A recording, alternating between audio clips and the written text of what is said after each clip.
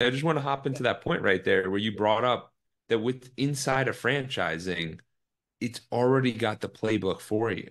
It's already set up for success because a lot of times when people start businesses, it's blank slate no no idea. And you're just like all right we're gonna hop in. But a franchise they have the backing they've done it before and they show you how to make it successful.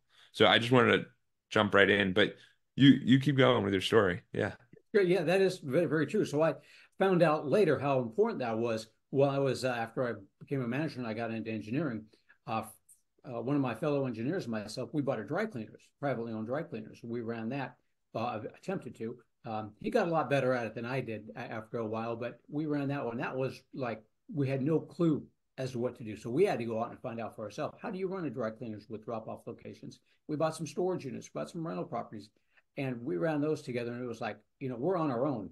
Fortunately, we had each other and we kind of helped each other out. But after I got out of the corporate world, that's when I thought, you know, that franchising thing was really good. I don't have the latest, greatest idea. So I need to go out and find a, a franchise to get into because you know, I tried that private business thing and it was a, you know, I go out and buy one, but it was a real challenge doing everything, you know, you're completely on your own, nobody there to help you. Uh, there's good and bad points about it. Don't get me wrong. Some people are best with going to a privately owned business. Franchising isn't for everybody, but uh, I decided I wanted to get into franchising. So I went click happy and all over the place, clicking on all sorts of different franchise opportunities. I got franchise development people calling me all over the place, very confusing. And finally, I got a hold of a franchise consultant, never knew they existed. and he said, okay, put everything on hold. Let's take a look at what your goals are, what your aspirations are, where have you been, where are you at now, where do you want to be, and let's narrow that down. with his help, I got into a franchise uh, and then ran that one for a while. That and- was wonderful, good franchise. And then I decided that this is such a good thing. I wanted to help other people do it. I liked what he did, so I told him, "Show me what you do." Teach me what you do. That was about 10 years ago, and I have not looked back since, and it's just been a whole lot of fun.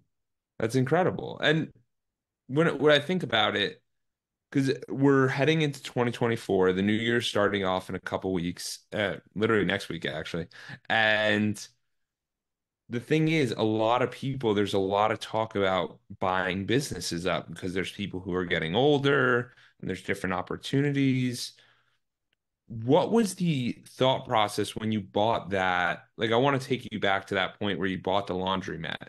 Were you working a full time job and then you tried doing the laundromat on the side? Like, how did that work? Because I know a lot of the audience is sitting there right now going, "This guy's done it a hundred times. Like, how could how could I do that? I'm just working my job and I'm trying to figure out what side hustle to jump into."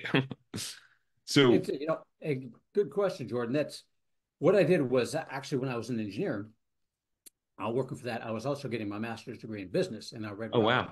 Yeah, I read Robert Kiyosaki's book, uh, Rich Dad Poor Dad. Uh, so yeah. I was get, getting my master's. Uh, I read that book, and that pretty much ruined the corporate career. And I thought, you know, there's got to be something better out here. So uh, a friend of mine, even a fellow engineer, we were just talking once, and uh, we just said, you know, let's get into a business together because we got to have something on the side because people are getting laid off all the time in our business. Yeah microelectronic circuit in the semiconductor industry quite a bit. Well, so we we got into that. He he just found that you know uh, somebody that he knew was selling the business. So we thought, hey, we're engineers. We know how to do everything. We can do anything. So you know, let's get into this business. Dry cleaning can't be that bad. You just clean the clothes, right? Uh, exactly. So we yeah. So we did that, and uh, we uh, we learned a lot by ourselves along the way on that one. But we bought in that one. We did it on the side. We were running our day jobs, doing that. So with a private owned business, having to do it all yourself and not knowing exactly what's going on, there was a little bit, I would say, a lot of extra work going in there. So there were times during lunch that I'd take off and go check on the uh, the dry cleaners and go stop by the uh, the drop off locations, make sure everybody was doing doing good and everybody was okay. You know, keeping in touch with my employees. And then after work, I might, you know, stop by there and uh, see what's going on, help them out, greet some of the customers occasionally as well, just to let them know that, you know, I was the one doing it. My partner was doing it as well. But it was something that we could do on the side. We were probably putting in, you know, another 15 hours or so uh, on yeah. top of our day jobs on top of that. So it wasn't too terribly time consuming on that one. Uh, just a little bit of a stress, not uh, not knowing where to turn necessarily when when things were wrong, like you know, machine breaks down or uh, you know, something goes wrong. It's like, all right, now where are we going to find the parts? Who do we go look for? Where do we find this? What do we do here?